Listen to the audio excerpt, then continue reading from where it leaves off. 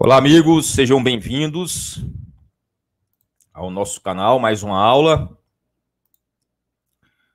Como ganhar 300 mil reais por ano líquido com gado de leite. Um projeto de bovinocultura leiteira. Como você ganhar como você ganhar 300 mil reais por ano líquido com gado de leite. Tá?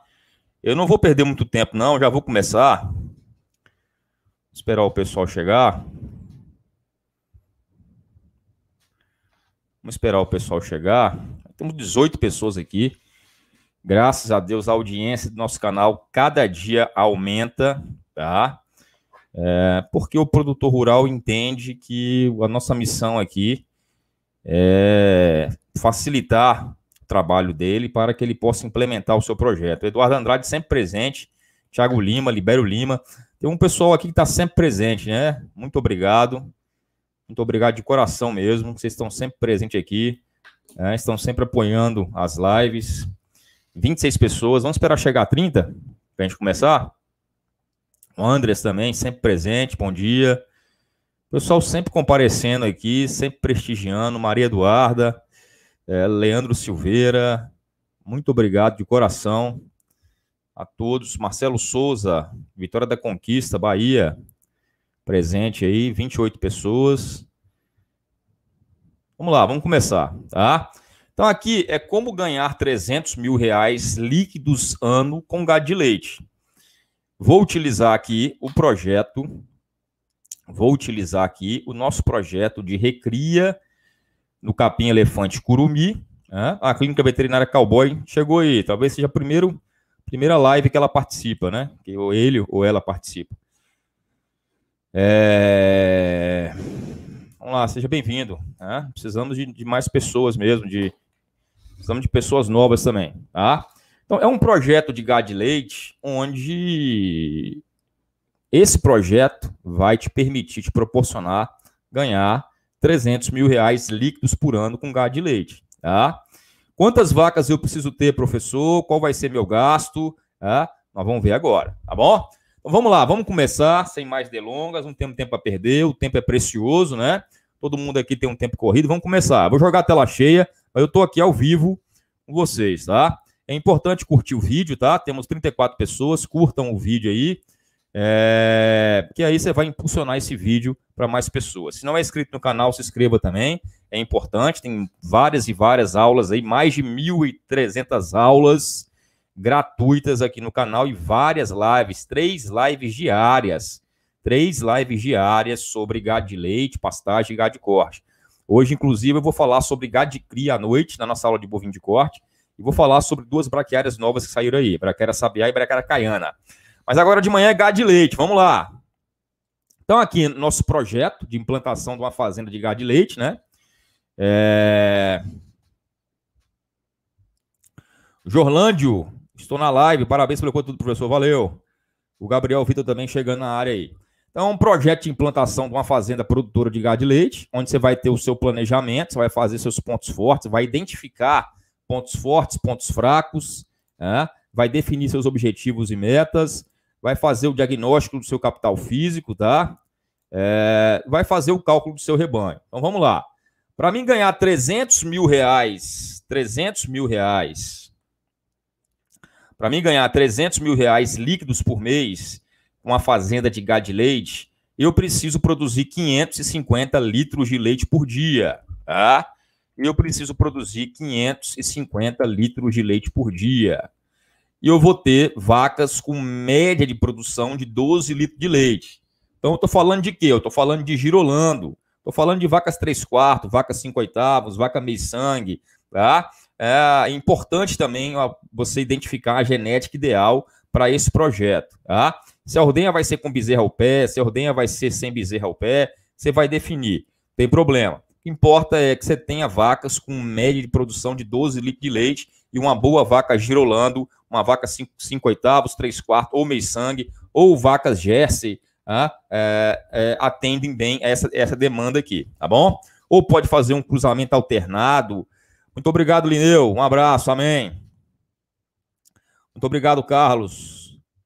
Rio Verde, Goiás. Terra boa, hein, cara? Quero conhecer Rio Verde. Diz que é uma cidade muito massa, né? Cidade muito bacana.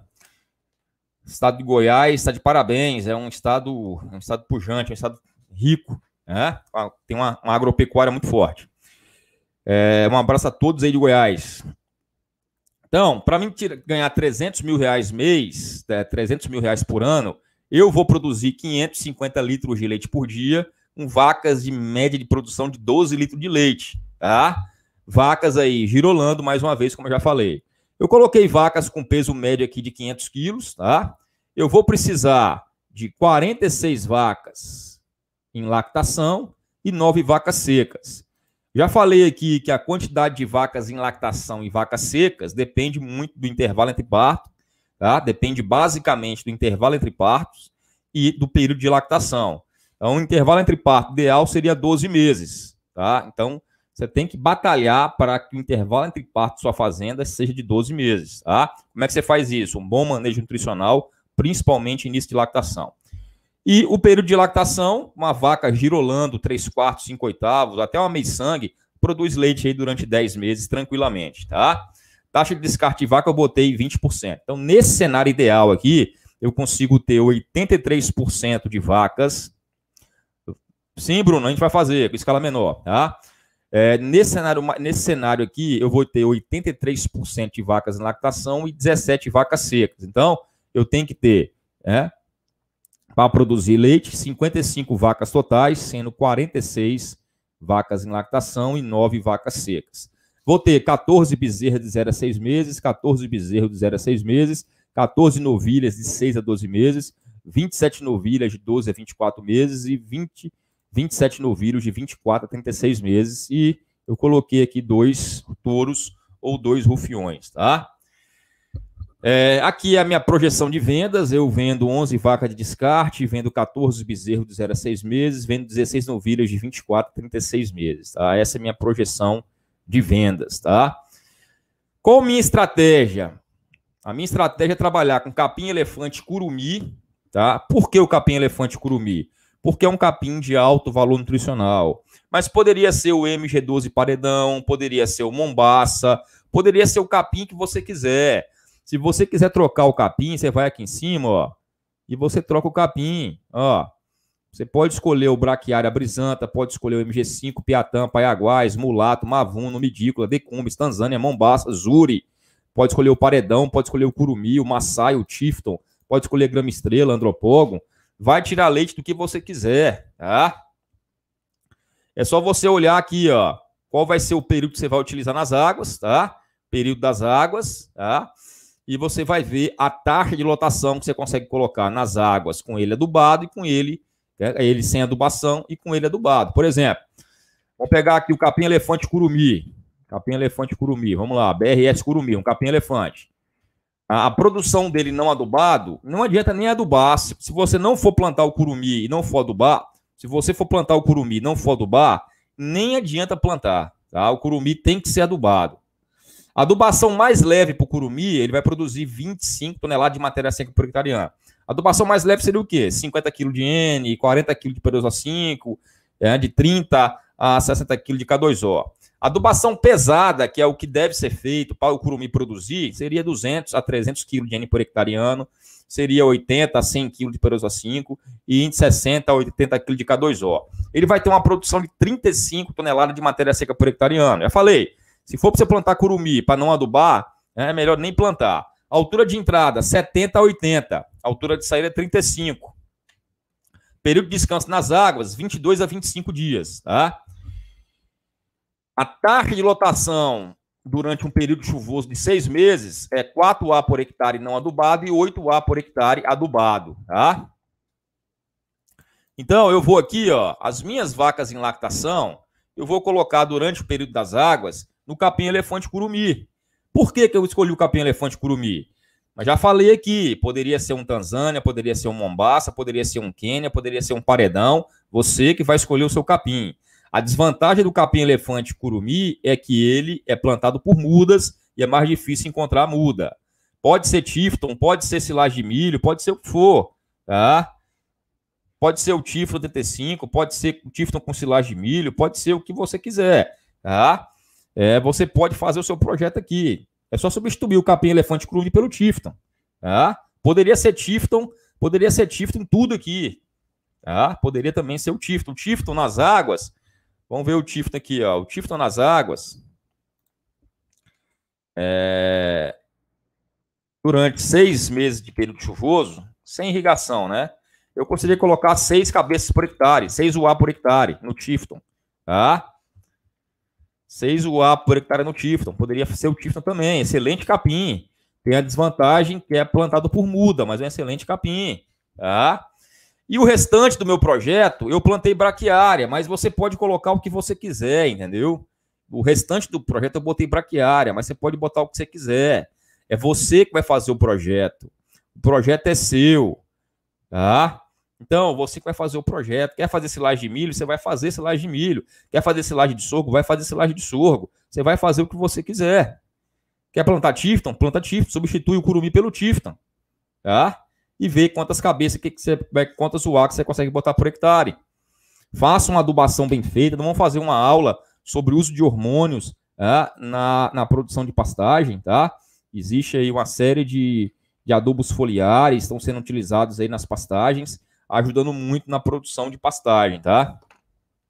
Vamos fazer uma live sobre isso aí, inclusive, para não é só adubação, não, adubação foliar também está melhorando muito a produção de pastagem. Tem um exemplo aí em Goiás, um produtor com alta carga animal usando adubos, usando usando aí é, esses hormônios para aumentar a produção, tá? E nós vamos falar sobre isso aí também, certo? Então, beleza. A minha estratégia foi essa aí, tá? Então, eu vou colocar, ó, meu rebanho ficou 46 vacas em lactação e dois touro e dois rufião, né? Então, eu vou botar as 48 vacas em lactação no capim elefante se eu não tenho touro, não tenho rufião, faço IATF, que eu acho que é uma boa você fazer IATF. Eu acho uma boa você fazer IATF, é, é que você não precisa de touro nem de rufião, tá? Eu, se trabalhasse com gado de leite, ia fazer IATF, porque é, você não precisa ter touro, você não precisa ter rufião, o rebanho é menor, tá? Você consegue encurtar esse período de serviço aí, consegue ter um intervalo de 12 meses intervalo entre parto, seria muito bom, tá? Se você quer ter touro de repasse, quer ter rufião, então acho que um touro para 46 vacas está bom aqui. É, seria um touro para 55 vacas, 46 em lactação e 9 vacas secas, tá? Então eu teria 47 animais solto no capim elefante, solto no capim elefante curumi, tá? Total de 1.1 UA. É, uma taxa, a taxa de, minha taxa de lotação seria 8A por hectare, e eu precisaria de 6 hectares e meio de capim elefante, de capim elefante curumi. Eu precisaria de 6 hectares e meio de capim elefante curumi. Ah, então eu ia colocar essas 50, essas 47 vacas leiteiras em 6 hectares e meio de capim elefante curumi. Tá? Qual, qual que é o meu projeto? 550 litros de leite por dia, vacas com média de produção de 12 litros de leite vaca dia. Eu vou produzir 550 litros de leite por dia. Eu vou ter 46 vacas em lactação e 55 vacas totais. Intervalo de parto 12 meses, período de lactação 10 meses, 83% de vacas em lactação, 17% de vacas secas, tá? Vou produzir 550 litros de leite por dia. E para isso eu vou precisar de 46 vacas em lactação, eu, eu vou colocar em mais um touro, né? Se eu tiver touro, se não tiver touro, você pode tirar o touro, tá? Eu vou precisar de 6 hectares e meio de capim elefante curumi. Aí, o restante do rebanho fica no capim elefante marandu, mas você pode fazer o que você quiser. Professor, eu quero plantar Mombasa, eu quero plantar Tanzânia também, pode plantar eu quero plantar Tifton, quero adubar, o rebanho todo adubado, irrigado, pode fazer o que você quiser, tá? Ah, ou então, professor, eu não tenho, eu não tenho, eu não tenho bezerra, eu só quero, só quero criar vaca. Só quero criar vaca. Não vai ter bezerra, não vai ter novilha, a gente zera isso aqui também. Tá? É só falar que a gente zera. Não vai ter vaca, não vai ter, a gente zera essa questão aqui de novilha e de bezerra, tá? Aqui você está produzindo suas próprias vacas de reposição, ok? E aí você vai ter o quê? Você vai ter o pasto de vaca seca, que seria o capim elefante braquiária. Vou precisar de 5 hectares de braquiária para colocar as vacas secas. Né? Não precisa você adubar, você adubar muito intensivamente para colocar vaca seca, porque às vezes não paga, tá? mas é uma área maior. É, aí eu preciso de 2 hectares para bezerros, tá? os bezerros de, até desmama. 2 hectares para bezerras, ou seja, 4 hectares para bezerra e bezerra, 3,4 hectares para as bezerras de 6 a 12 meses, 8,9 hectares para a, as novilhas de 12 a 24 meses e 10 hectares para as novilhas de 24 a 36 meses, um total de 38 hectares. Então eu tenho 38 hectares de pastagem, tá? 38 hectares de pastagem é uma fazenda pequena. 38 hectares de pastagem é uma fazenda pequena. Ah, professor, eu queria produzir em menos, eu queria diminuir minha área. Se você tiver só vaca em lactação, em 6 hectares e meio, você mantém essas, essas, essas vacas. Tá? E você vende bezerra e bezerra. Não vai ter novilha de reposição, não vai ter nada. Então, uma opção seria isso: você ter só vaca em lactação. Em 6 hectares e meio, você ia se virar. Tá? com mais 5 hectares para vaca seca, mas aí você pode também intensificar, tá? E, e, e, tem como você fazer ajuste em tudo, tá? Nesse projeto deu 38 hectares. Eu posso enxugar essa área? Pode, pode enxugar a área. Coloca, né, se, se, você colocar todo mundo no capim elefante, no capim elefante curumi, e conseguir botar 8, 8 A por hectare, olha lá, você reduziu para 14 hectares. Se eu conseguisse botar 8 A por hectare né, e, e, formar essa fazenda todinha de capim elefante curumi, eu só precisaria de 14 hectares. Mas a proposta que eu fiz aqui foi do braquiária para outras categorias. Por que o braquiária? O braquiária é mais fácil manejar, o braquiária não precisa de uma adubação tão intensiva, né? o braquiária ele vai fechar bem o solo, cobrir bem o solo, você vai ter um pasto bom, tanto nas águas quanto na seca, tá? Então, 38 hectares. As minhas vacas em lactação, então vamos lá. 47, 46 vacas em lactação, mais um, um, um touro, né? Já falei, se não tiver o touro, você zera aqui, ó. Você vai zerar aqui, tá? Se não tiver o touro, você vai zerar. Eu vou usar o capim elefante curumi, que tem a principal vantagem dele é um alto valor nutricional associado com uma alta produção de matéria seca. Tá? A desvantagem é que sofre ataque de lagarta, ataque de cigarrinha, é, é plantado por muda, tem alguma desvantagem. Mas ele é um capim de excelente valor nutricional, é um capim elefante anão, voltado para pastejo rotacionado. A vaca consegue produzir até 15 litros de leite num pasto desse, só a pasto. Tá? Porque cap... ele tem um alto teor de proteína, uma alta digestibilidade. Então, as minhas vacas em lactação ficam em 6 hectares e meio de capim elefante curumi. Período de descanso, 22 dias. Período de ocupação, 1 dia. Vou fazer 23 piquetes. Né? Fazer 23 piquetes de 2,8 hectares, ou 2.800 metros quadrados. Tá? É... Então é isso. Vou fazer 23 piquetes desses 6 hectares e meio. É... o resto vai ser tudo em pasto de braquiarão. Tá? 30 dias de descanso, seis dias em cada piquete, tá? vou fazer seis piquetes. Pode até reduzir se quiser, tá? pode até fazer menos piquetes. Coloca 10 dias em cada piquete e faz três piquetes, não tem problema. Tá? Se eu colocar aqui 10 dias em cada piquete, ó, vai fazer quatro piquetes. Tá? Então, você que vai definir o seu projeto, tá? O projeto é seu, você que vai definir. E aqui eu tenho uma área de capineira, que pode ser capineira de capim-elefante, pode ser capineira de cana-de-açúcar, pode ser área de silagem de milho ou área de silagem de sorgo, tá? Eu coloquei aqui, então aqui eu coloquei um consumo de Se for capim elefante, ó, né? se for capim elefante, você coloca um consumo de 45 a 50 quilos né? é, de matéria verde por a dia. Se for silagem, se for cana ou silagem, você altera para 30, tá? Eu considerei um período aí de suplementação de seis meses para a vaca leiteira e de cinco meses para as demais categorias, porque ainda tenho um pouco de pasto aí. É, então, para mim suplementar essa, esse rebanho todo, eu teria que plantar mais 4 hectares de capim elefante capiaçu, tá? Mais 4 hectares de capim elefante capiaçu. Resol resolveria meu problema. Eu ia ter suplementação para o rebanho todo durante a época seca. 4 hectares de capim elefante capiaçu, tá? é, esse capim elefante produzindo uma boa quantidade de matéria seca por hectareano.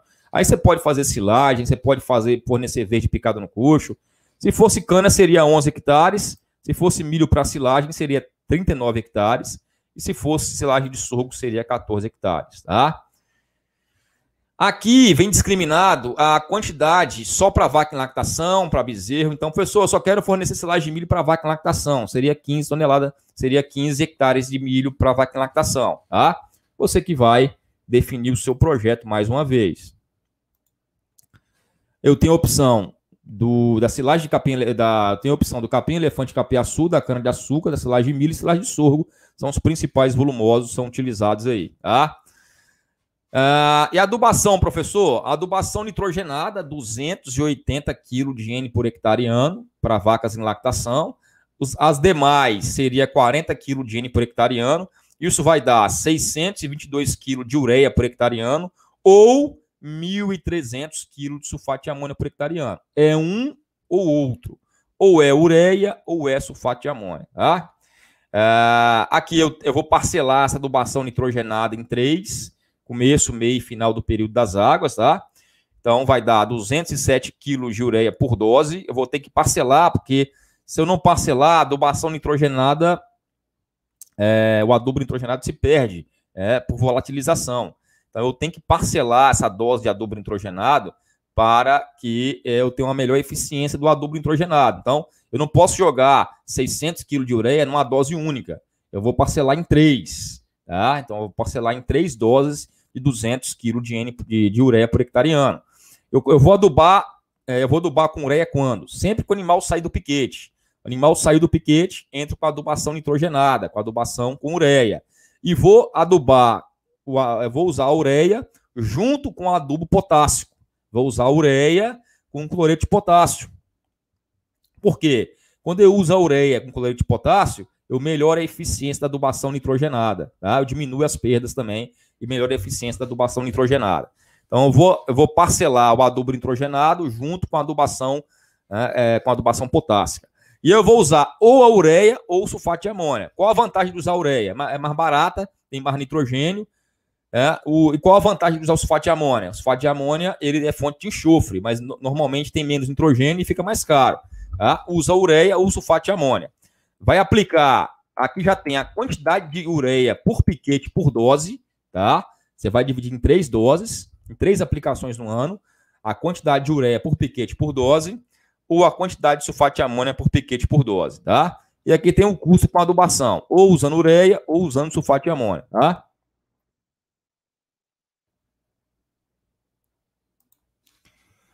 É...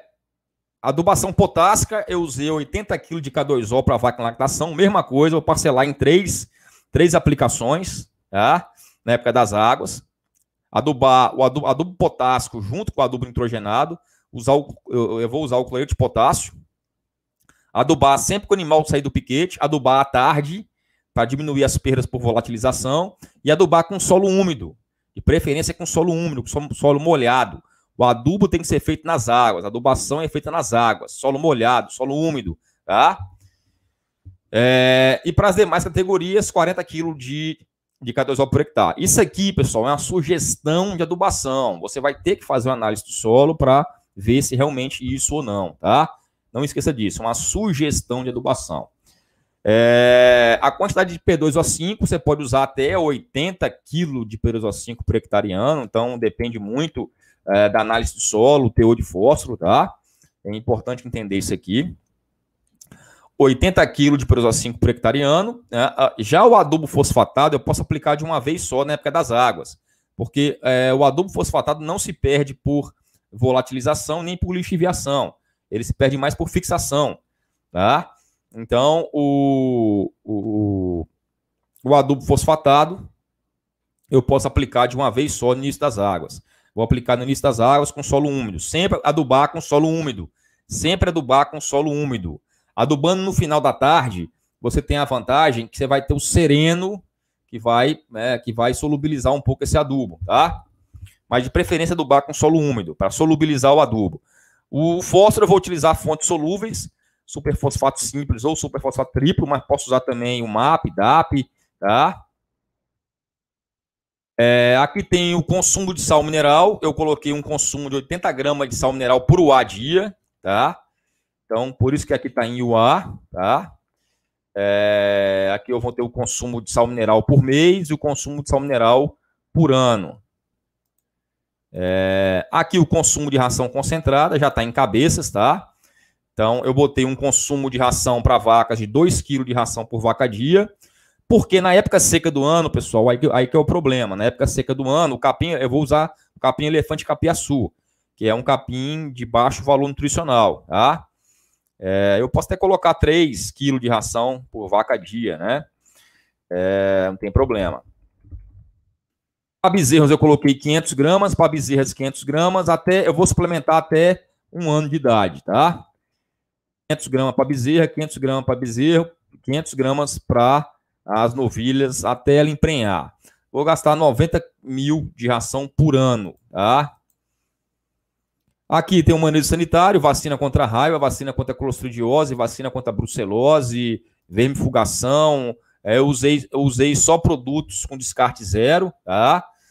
Para vacas em lactação, eu só usei produtos com descarte zero, carrapaticida com descarte zero. Descarte zero é o quê? Você pode aplicar que não sai no leite. Você pode aplicar o carrapaticida, pode aplicar o vermífugo que não sai no leite. É descarte zero. Você não precisa descartar o leite da vaca, tá? Então, existem carrapaticidas, existem vermífugos com descarte zero, que você pode aplicar em gado de leite. Eu só usei esses produtos com descarte zero, tá? A parte de, de gasto com manejo reprodutivo, caso você faça inseminação artificial, também está os gastos aqui. Aqui está o gasto com é, higiene da ordenha mecânica. E aqui está o gasto com. Aqui estão os gastos com é, a sua mão de obra. E aqui tem outros gastos, tá? Total, eu gastei, eu tive um custo, um custo anual, um custo operacional, um custo variável de 190 mil reais por ano, sendo 98 mil ração e sal mineral, 58 mil com adubação, é, 58, 51 mil com mão de obra, 3 mil reais com sanidade, 5 mil reais com outros gastos, 3 mil reais com reprodução, 24 mil com ordenha, 3 mil reais com adubação de pastagem, dando aí 190 mil reais de custo, tá?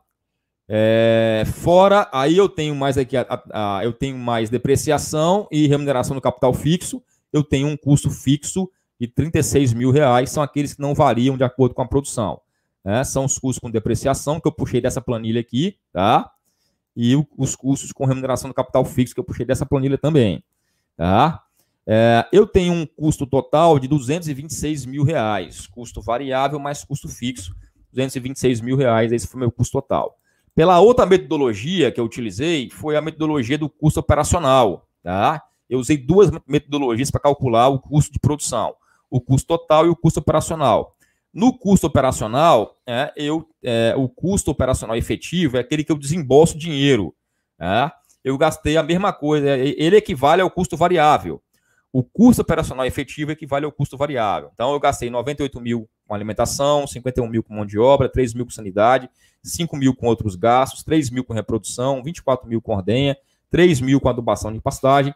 Meu custo operacional efetivo foi de 190 mil reais. Mesma coisa que o custo variável. O custo operacional efetivo é aquele que eu, eu meto a mão no bolso e tiro ele.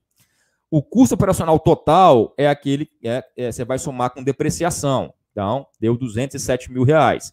São duas metodologias diferentes de fazer o cálculo, tá? O custo operacional e o custo total. Eu fiz nas duas. Ok? Aqui eu tenho é, o custo do líquido, aqui eu tenho minha receita, tá? Eu coloquei 550 litros de leite por dia. Eu coloquei o leite a dois reais, tá? Eu vou ter uma receita mês de 33 mil reais, uma receita ano de 400 mil reais. Tem a venda ainda, eu tenho a venda de vaca de descarte, 11 vacas de descarte a 3 mil reais cada uma, coloquei esse valor. Se for mais, se for menos, você coloca o preço que você quiser.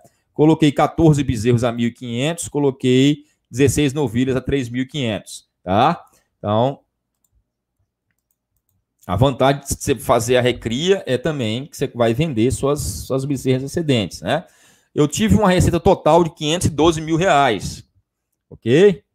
É, o meu custo de produção, o meu custo total de produção ficou R$ 1,13. Eu vendi a R$ 2,00, ganhei uma margem boa, né? O meu custo operacional foi de R$ 1,04 tá? por litro de leite, R$ 1,13 por litro de leite. E o custo operacional foi R$ 1,04 por litro de leite. Eu vendi a 2, estou com a margem boa. É, o meu ponto de equilíbrio foi 95 litros de leite por dia. Estou produzindo 500, tá bom demais. É, capim elefante curumi é um, e você tem o capim elefante capiaçu é outro. Tá? Você pega o capim elefante curumi, é aquele. Você pega o capim elefante curumi é para pastejo rotacionado. E o capim elefante capiaçu é para capineira, tá? E aqui, finalmente, pessoal, cheguei no meu resultado. Eu tive uma receita bruta de 512 mil reais, tive um custo operacional efetivo de 190 mil reais, tive uma margem bruta ano de 322 mil reais, uma margem bruta mês de 26 mil reais. Ou seja, a margem bruta é o quê? É receita bruta menos custo operacional efetivo. A minha margem líquida foi de 300 mil reais. Olha lá, eu tive uma receita bruta de 512 mil reais, um custo operacional total de 207 mil reais, uma margem líquida de 304 mil reais ano, uma margem líquida mês de 25 mil reais. Consegui ganhar 304 mil reais ano. Tá? É... Já em relação ao resultado, lucro ou prejuízo, eu tive um resultado de 235 mil reais, que já incluiu ali a depreciação e a remuneração do capital efetivo. Então, eu consegui ganhar 300 mil reais de margem bruta ano com esse projeto. Tá? Eu, o projeto, pessoal, é você que vai fazer, é você que vai alterar as coisas aqui. Você pode, até, pode botar o capim que você quiser, pode botar o que você quiser, tá? Esse projeto vem com a, aqui até a capa dele, aqui é o planejamento estratégico, você vai definir pontos fortes, pontos fracos, oportunidades e ameaças. Aqui já está preenchido, explicando o que, que, é isso aqui. É uma análise fofa, tá? dos, dos pontos fortes e fracos, oportunidades e ameaças. Você vai preencher isso aqui e você vai definir e você vai melhorar os pontos fracos, você vai tentar anular os pontos fracos e você vai maximizar os pontos fortes. Vai aproveitar as, as oportunidades e vai anular as ameaças, tá? Aqui tem os seus objetivos e metas. Aqui tem um diagnóstico do seu capital físico que você vai preencher. Aqui tem o cálculo do rebanho que a gente fez. A planilha vem com dimensionamento dos piquetes, olha lá, direitinho o tamanho de cada piquete, como é que vai ser cada piquete, tá? Já vem com coxo, com, com a parte de praça de alimentação, dimensionamento de coxo de sal mineral, coxo volumoso, bebedouro, vem com tudo certinho já. Cálculo de ração para bezerra, você fazer sua própria ração para bezerra. Cálculo de ração para vacas em lactação, você fazer sua própria ração para vacas em lactação e vacas secas. Cálculo de suplementação mineral, para fazer seu próprio sal mineral cálculo de núcleo mineral, fazer seu próprio núcleo mineral, é, o custo de formação de pastagem, o custo de formação de outras pastagens, o custo de formação e implantação do capim-elefante, o custo da cerca elétrica, é, o seu investimento que você vai ter, é, a viabilidade econômica desse projeto, a viabilidade econômica e financeira durante o ano, durante todos os meses, tá? É, então, pessoal, esse projeto aqui, Vamos lá agora. Esse projeto aqui, só as planilhas de cálculo de ração de bezerras, de vacas e de sal mineral, que tem lá, que são duas de sal mineral, só as planilhas de formulação de ração de bezerras, vacas e as duas de sal mineral é 500 reais. Tá? Você tem que entender isso. Só as planilhas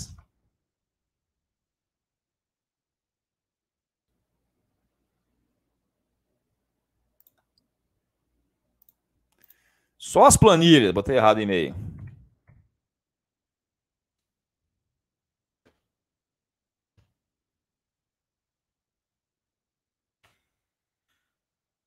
Só as planilhas, só as planilhas de cálculo de ração para bezerras, cálculo de ração para novilhas e as duas de sal mineral é 500 reais.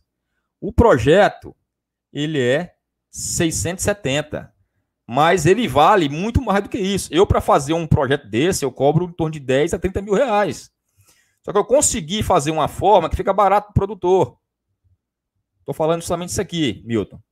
Eu consegui, eu, se eu fosse fazer um projeto desse detalhado para cada produtor, eu ia cobrar de 15 a 30 mil reais, com certeza. Se você pedir para me fazer um, um projeto para você, eu vou cobrar de 10 a 30 mil reais. Mas essa planilha eu consegui desenvolver ela de uma forma que o próprio produtor pode desenrolar o seu projeto.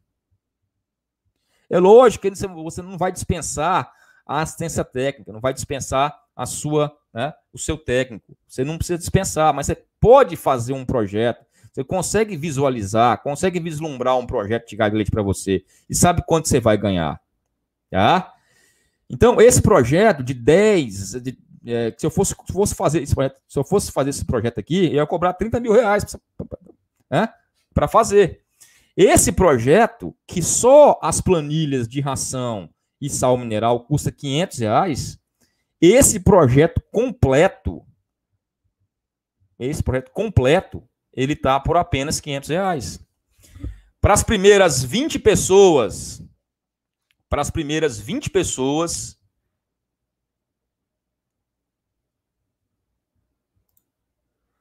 para as primeiras 20 pessoas, tá? Vou fazer mais uma coisa aqui. Olha lá. Para as primeiras, vou fazer só para as 10 pessoas. Para as primeiras 10 pessoas, que comprarem esse projeto, mandaram um e-mail para mim agora. Eu vou esperar cinco minutos aqui. Para as primeiras 10 pessoas que comprarem um projeto de gado de leite, eu vou mandar dois e-books de graça. O primeiro que comprar ganha quatro e-books. As primeiras 10 pessoas ganham, ganham dois e-books de graça, tá? Ganha brinde, ganha brinde. As primeiras 10 pessoas ganham dois e-books de graça. A primeira pessoa que comprar aqui na live ganha quatro e-books de brinde, tá? Ok? Vamos lá.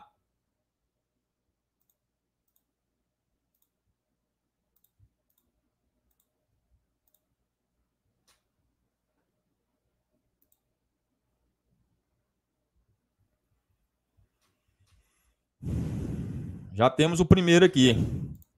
Wagner Rebouça. Eu não sei nem se o Wagner tá na live, tá? Ou se ele. Mas o primeiro foi o Wagner. O Wagner vai ganhar. Já vai... Vou mandar o projeto pro Wagner, tá? Já vou ganhar o projeto pro Wagner.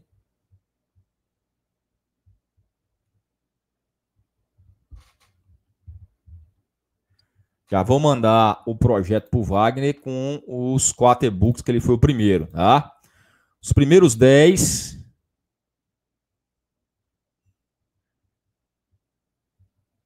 Quinhentos reais, Rodrigo. Já falei. Quinhentos reais.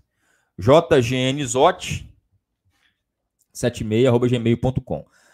Primeiras 10 pessoas que comprarem vai ganhar brinde. Vai ganhar brinde. É, vou esperar aqui mais cinco minutos, até 10 e meia, tá? As primeiras 10 pessoas que comprarem o projeto de gado de leite ganha brinde. jgnzot76.gmail.com Ontem, na, na, na aula de gado de corte, nós batemos o recorde de, de audiência e batemos o recorde de produtores é, que foram contemplados com brindes, hein? Vendemos muitas planilhas ontem, graças a Deus. É... Se o produtor rural ele fosse pedir para mim fazer esse projeto, se ele fosse pagar para mim fazer esse projeto, com certeza eu ia cobrar de 10 a 30 mil reais, a depender do tamanho da fazenda. Tá? Mas com, essa, com esse modelo, eu consegui simplificar os projetos e consegui colocar num sistema onde o próprio produtor consegue desenrolar. Tá? E eu quero ajudar o produtor incentivando ele. Os primeiros 10 que mandaram o e-mail aqui ganha o e-book de brinde, tá? Ganha dois e-books de brinde. Vamos lá. O Rodrigo já mandou aqui, ó. Quero a planilha. Beleza, Rodrigo. Isso aí. Isso aí. Rodrigo também já entrou em contato. Já vai ganhar os brindes também. Tá?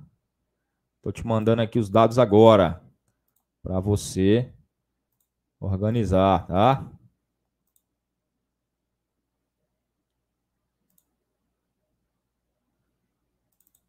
Tô mandando as instruções aqui para você, Rodrigo. Para você organizar aí. Já mandei aqui os dados, tá? Mandei as informações. Foi para o seu e-mail agora. Certo? Rodrigo Cordeiro. Segundo. Vamos lá. Vai ganhar brinde também. Vai ganhar brinde. Rodrigo Cordeiro já está ganhando brinde também. É...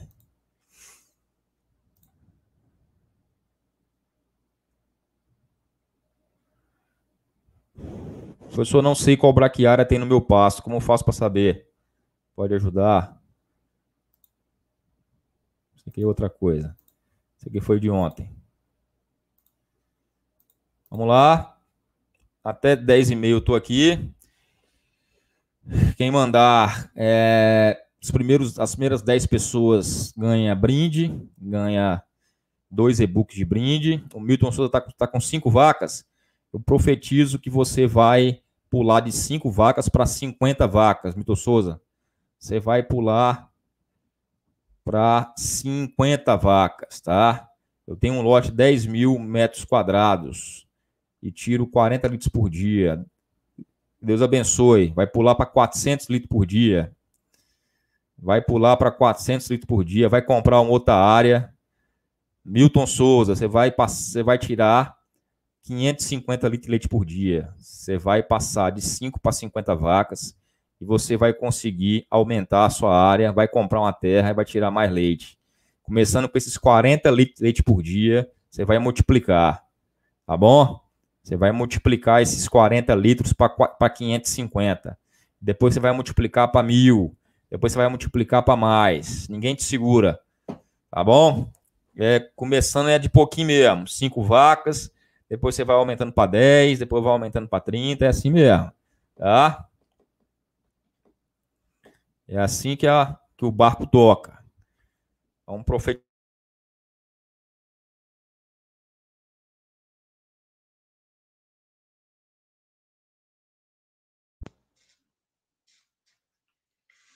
É TV chegou agora. Bom dia. O pessoal de gado de leite está meio, tá meio retraído ainda, né? O pessoal de gado de corte é mais empreendedor. Mas é isso aí. Vamos esperar mais um pouquinho. O pessoal de gado de leite é, é um pouco mais retraído que o pessoal de gado de corte, né? O pessoal de caprino e ovino nem se fala. O pessoal de caprino e ovino é, é pouco empreendedor. Mas vamos lá quiser adquirir o projeto, jgnexote76.gmail.com, as primeiras 10 pessoas que mandarem o e-mail ganham o brinde, tá? Só, só para quem está na live. O brinde é só para quem está na live, tá? Para quem não está na live, não vai ganhar o brinde. O projeto continua o mesmo valor, mas para quem não está na live, não vai ganhar o brinde. O brinde é só para quem comprar agora na live, tá bom? Pessoal, muito obrigado. Que Deus abençoe abundantemente sua casa, seu lar, sua família. Que você venha prosperar aqui na terra, porque a prosperidade ela é natural, ela é dom de Deus e você nasceu para prosperar. Estou encerrando aqui, tá? Quem mandou e-mail, mandou. Quem solicitou a planilha, solicitou. Quem não solicitou, outra oportunidade para solicitar. Um abraço. É, profetizo uma, uma vida abundante e plena para todos vocês, tá? E até amanhã, com fé em Deus. Amanhã para cá de leite, né? Porque daqui a pouco tem mais aulas aí. Valeu!